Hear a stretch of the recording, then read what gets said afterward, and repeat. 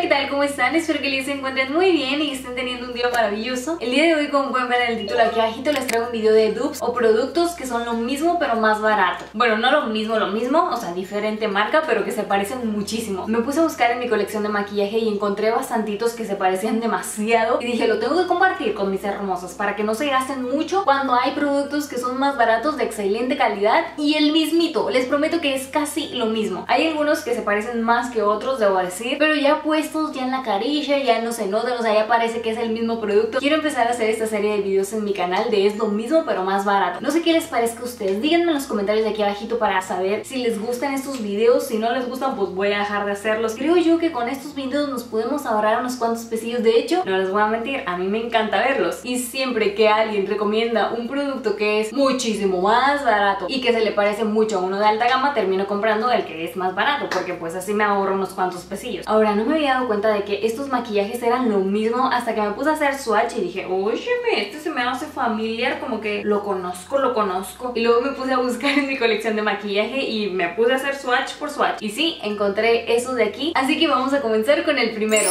El primer dupe que encontré que considero yo que se parecen muchísimo son estos dos iluminadores de aquí. Uno es de la marca ELF, que es una marca súper económica y el otro es del... súper que es una marca súper económica y el otro es de la marca Becca. Este es en el tono Moonstone y siento que Moonstone se parece muchísimo a este que es en el tono Moonlight. Voy a estarles dejando swatch por la pantallita lado a lado para que ustedes puedan ver la diferencia de cada uno, pero realmente no hay mucha diferencia no la hay. Son realmente el mismo color. De hecho, el día de hoy traigo de este lado el de ELF y ya cuando lo veo aquí no siento que se vea la diferencia. De este lado traigo Moonstone de Becca y de este lado traigo el de ELF de... Bueno, este es en el tono Moonlight, se me olvida, se me olvida. Pero sí, como pueden ver, no se ve para nada la diferencia. Cuando los ves así en el empaque no se ven tan parecidos, espero que puedan ver ahí. El de ELF se ve como que un poco más platinado y el de Becca se ve más doradito. Ya que le haces swatch, los dos se parecen un montón y cuando te lo aplicas aún más. Si te quieres ahorrar unos cuantos pesillos, no te quieres gastar lo que cuesta un iluminador de Becca, bueno, este de ELF es muy buena opción. Ahora, la fórmula es un pelín diferente, de hecho sí es diferente. El color es el mismo, pero la fórmula sí es diferentita. Los de Becca son un poquito más cremositos, más suavecitos. Los de ELF son un poquito más secos, pero los dos se ven iguales en la piel. Puedo notar que sí me acentúa poquitín la textura de la piel el de ELF, pero es muy muy poquito. Mientras que el de Becca se aplica de una manera más suave, el brillito que tiene es más refinado, es como que más sutil, pero por el precio el de ELF es buenísimo. Otra cosita que quería decirles del de ELF es que tienes que quitarle la capita que tiene encima cuando recién lo acabas de comprar porque a la primera que le haces swatch, si no le quitas la capita encima no va a pigmentar mucho, de hecho no se va a aplicar en las mejillas, no se va a ver nada, así me pasó. Hasta que escuché en un video que tenías que quitarle primero la capita de arriba y luego ahora sí aplicártelo. El siguiente dupe que encontré que me emociona mucho porque es uno de mis blush favoritos es este de aquí de la marca MAC. Este es en el tono Spring y este tono en lo particular se parece mucho al Orgasm de NARS. Sí se parecen, pero del Orgasm a este de aquí me gusta mucho más este porque es un pelín más naranjita, más duraznito. El, el Orgasm de NARS es poquito más rosadito. Y ustedes saben que a mí me encantan los blush que son así como duraznitos. Este de aquí es precioso porque tiene este, no sé si puedan ver en la cámara, pero tiene un reflejo dorado tan bonito. Y adivinen qué, les encontré un top. Lo encontré, lo encontré. Y también es uno de mis blush favoritos y jamás me di cuenta, hasta apenas hoy. Y es este blush de aquí de la marca Bisú. Este es en el tono coral. Es el mismo, el mismo tono, de verdad, o sea... Espero que puedan ver ahí. Es el mismo tono, los dos tienen estos reflejos dorados, los dos son igual de pigmentados. De hecho, les voy a decir un secreto. El de Bisú es un pelín más pigmentado que el de MAC. La fórmula de los blush de Bisú es increíble, me encanta. Si alguna vez has probado esta fórmula me vas a entender, no son para nada polvosos. Es muy muy suavecita la fórmula y son demasiado pigmentados. Este de aquí como pueden ver te da como que un brillito, un reflejo precioso. Si quieres una versión más económica del Spring Sheen de MAC, creo que este Está muy bien. Otro dupe que encontré recientemente fueron estas dos paletas de aquí. Una es de la marca Anastasia, esta es la famosísima Modern Renaissance y la otra es de la marca LA Colors. Esta es la Sweet. Realmente son idénticas. De hecho, la Modern Renaissance ya tiene un dupe que es la de Beauty Creations, pero de esa ya les hice un video aparte. Se los voy a dejar el link por aquí, por la pantallita o en la cajita de información por si lo quieren ir a ver. Pero encontré otro dupe y creo que esta de aquí de LA Colors es todavía más barata que la de Beauty Creations. Tengo la guía en el diente.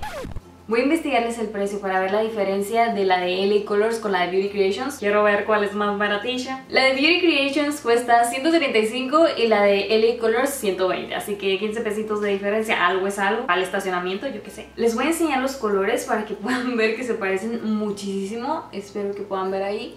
Esta es la de LA Color, oh, evidentemente. Y esta de aquí pues es la Modern Renaissance. Como pueden ver, los colores son súper idénticos. Algo que noté es que en la paleta de LA Colors los tonos metálicos son un poquito parchositos. No parchosos, pero son así como que medio grumositos. O sea, cuando los aplicas sí tienden a tirar tantito polvito, mientras que la Modern Renaissance, los metálicos no son así. Los que son, bueno, los mates sí son.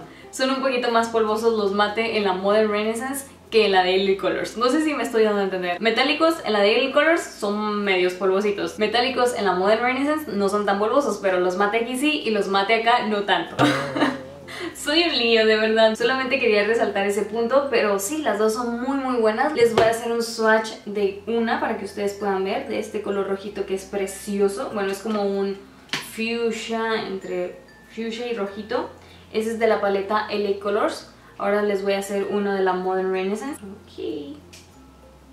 Ahí está, como pueden ver, si es un pelín más polvositos los de la Modern Renaissance. Y pues más pigmentaditos, pero no tanto, o sea, de que se aplican en los ojos de igual forma se aplica, eso sí. Es verdad que con la de LA Colors tienes que trabajar más el producto, tienes que ir aplicando poco a poquito, mientras que con la Modern Renaissance tienes que irte con más cuidadito a la hora de aplicarlo. El siguiente es un corrector famosísimo. Yo creo que ya este no les va a sorprender, me gusta muchísimo y sí, Shape Tape de Tarte. Es un corrector buenísimo, pero... bueno, bueno, bueno, bueno, creo que ya me estoy enrollando mucho. Pero el dupe que encontré a este maravilloso corrector fue el de Colourpop. No me lo van a creer, pero es es que la fórmula es súper parecida, no es así como que idéntico, pero sí se parecen mucho. Es verdad que el de Colourpop es un poquito menos cubriente, o sea, este es como cobertura súper altísima y este es como cobertura media a alta. De todas formas, los dos se parecen. De todas formas, cuando te los aplicas, de hecho, el día de hoy traigo de este lado el de Colourpop y de este lado el de Tarte. ¿Alguna diferencia? Yo no veo ninguna. Ya aplicados como se ven iguales. A menos que te acerques mucho, ya es cuando puedes ver que de este lado se me ve un poquito más la ojerilla y de este lado es como que como si fuera Photoshop. Si quieres una opción más económica del de Tarte, te recomiendo muchísimo los de Colourpop. Estos son los No Filter Concealer. Ninguno de estos me hace pliegues, ninguno me marca las líneas, no, no me dejan esta parte de aquí reseca. Son una maravilla. Ahora, encontré varios dupes de labiales. De verdad, creo que fue lo que más encontré en mi colección de maquillaje. Y el primero es este de aquí de la marca Jeffree Star. Este es en el tono Mannequin. Encontré un dupe lo acabo de encontrar. Y es este labial de aquí de la marca Maybelline. Este es en el tono Loyalist y este es de los Super Matte Ink, Super Stay Matte Ink. Hace poquito les hice una reseña de estos labiales, también les voy a dejar el link por aquí por si quieren ir a verla. Les voy a hacer un swatch para que puedan ver la diferencia, como quiera les voy a estar dejando, como les digo, por aquí por la pantallita para que puedan verlo un poquito más de cerca. Porque sí, yo, yo sé que a veces como que no, no se ven, pues ya saben, de lejitos y vean esto. es increíble, de verdad que cuando descubrí esto fue como que wow, wow, wow, wow. Los dos pareciera que son el mismo labial, pero no. Este de aquí es el de Maybelline y este de aquí es el de Jeffree. Sí es verdad que la fórmula cambia un poquitín, de hecho los de Maybelline son un poquito más, se podría decir que cremositos, tardan más en secar, mientras que los de Jeffree secan al instante y son más líquidos, pero el color es idéntico y los dos secan mate. Siento que me dura más el de Maybelline que el de Jeffree. Y eso que los de Jeffree duran un montón, pero imagínense ahora los de Maybelline es como si se quedaran pegados en tus labios y no se movieran ahí más. Otro dupe que encontré fue este aquí. Este lo, encontré hace tiempito, la verdad, la verdad. Y desde cuando que les quería decir, siempre se me olvidaba decirles que es el mismo color, pero obviamente uno es más económico y es este labial de aquí de la marca MAC. Encontré su dupe en los labiales de Jordana, este es en el tono Natural y el de MAC, este es en el tono Kinda Sexy, que es un tono muy famoso. Kinda Sexy creo que fue uno de los uno de esos labiales nudes que todo el mundo amaba en uff, hace cuando yo empecé en YouTube, por eso lo compré, porque todo el mundo hablaba muy bien de este labial y como pueden ver es un duraznito muy bello. es tan lindo. Hace mucho que no lo utilizo, pero lo voy a utilizar otra vez porque de verdad que es tan tan lindo. Y el dupe que encontré a este tono de aquí, al Kinda Sexy, es este de aquí de Jordana y este es en el tono natural. Se los voy a enseñar lado a lado para que puedan ver la diferencia. Bueno, no la diferencia, para que puedan ver ustedes, que se parecen mucho más bien. Este es Kinda Sexy de MAC y este es Super, super Natural.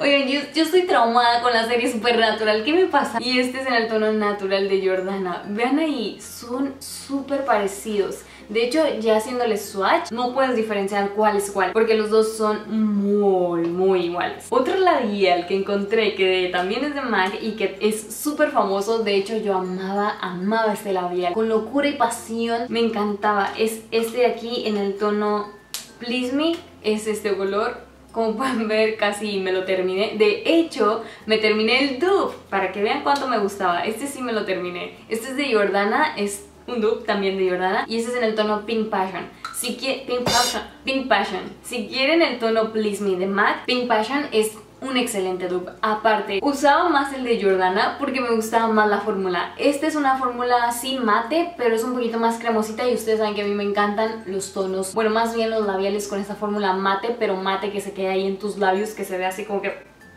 parejita, parejita pues. Y siento que el de Jordana me duraba más y era más mate que este de aquí de MAC. Les voy a hacer un swatch para que este sí se parece, o sea es, es, el mismo color de verdad, es el mismo. Es que no, no hay diferencia de verdad. Podría ser este un poquito más oscurito pero casi nada, no se nota. Es un color como coral, rosita, nude pero también tiene un poquito de colorcito, caben Ahora, no sé si recuerdan el tono Ruby Hoo. Bueno, pues les tengo un dupe, que es el que traigo el día de hoy en los labios. De este lado traigo Ruby Hoo y de este lado traigo el de Colourpop. Y que es en el tono Trust Me. Es el mismito color que este de aquí de la marca MAC. El tono Rubijo es un poquito más mate, mientras que el tono Trust Me es más cremosito, pero los dos se ven igual en los labios, los dos se ven igual de mates. No veo diferencia tampoco con estos tonos. No sé si pueden ver ahí, este es Trust Me y este es Rubijo. Como pueden ver, es que no hay diferencia, de verdad, no supero este tono, pero sí es verdad que la fórmula es un pelín diferente. Eso sí, ninguno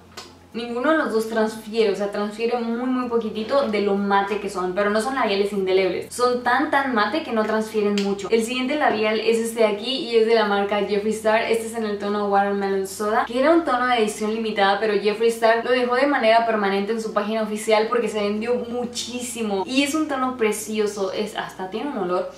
Ah, huele, huele tan rico, huele a Jolly Rancher, de verdad, huele huele a esos dulcitos pero este color coral súper intenso, es muy intenso, demasiado. Es este color que te llama, que te llama de lo intenso que es. Y el dupe que encontré fue este labial de aquí de la marca Crofasi, una marca mexicana súper económica. Y este de aquí es en el tono mousse. De hecho, lado a lado ya no puedes diferenciar cuál es cuál. Ven ahí, este de aquí es el de Jeffree y este de aquí es el de Crofasi. El de Jeffree puede que sea un poquito más clarito, mientras que el de Crofasi viene siendo como un poquito más fuchsia, más fuerte. Pero los dos se parecen un montón, de verdad, o sea, tan igual. Ahora, encontré un dupe de un labial que fue muy muy famoso y creo que todavía lo sigue siendo, si no me equivoco. Creo que todavía todo el mundo sigue hablando de él. Y es este de aquí de Kat Von D, ese es en el tono Lolita, el famoso y dichoso Lolita. ¿Se acuerdan cuando Lolita solía ser como que labial